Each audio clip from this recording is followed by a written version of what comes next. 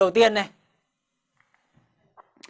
Ví dụ 1 từ cái phương trình này 1 cộng với căn 3 nhân với cos x cộng với sin x trừ 2 nhân sin x nhân cos x trừ căn 3 trừ 1 bằng 0.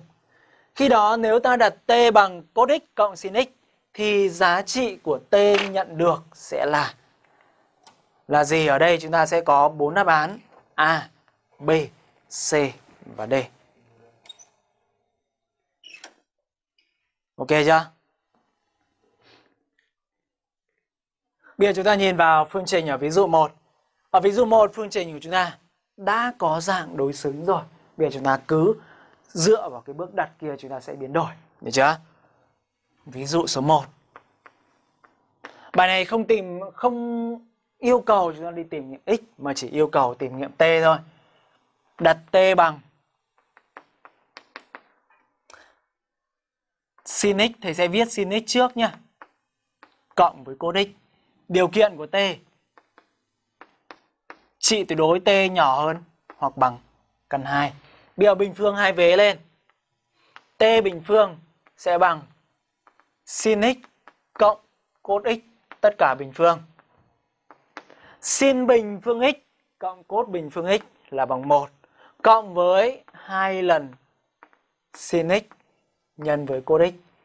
Đề bài đã có hai lần sin x cos x rồi, vậy thầy sẽ giữ nguyên, thầy không rút rút thành sin x cos x ra, được chưa? Từ đây sẽ có là 2 nhân với sin x nhân với cos x sẽ bằng t bình phương trừ đi 1. Được chưa? Xong rồi, bây giờ chúng ta sẽ thay toàn bộ vào phương trình.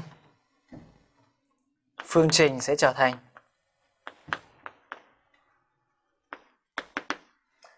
Đầu tiên là 1 cộng với căn 3 nhân với t. Đúng chưa?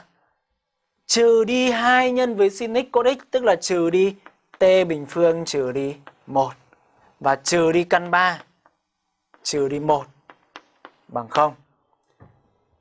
Phá ngoặc ra nào. Phương trình của chúng ta sẽ chuyển vế ra các em nhá, chuyển vế sang nhá để cho hệ số của t bình nó dương t bình phương này trừ đi 1 cộng với căn 3 nhân với t. Đây là cộng 1 với trừ 1 hết rồi, còn lại là trừ căn 3 chuyển vế sang sẽ thành cộng căn 3 bằng 0. Đây là phương trình bậc 2 về ẩn t, đúng không?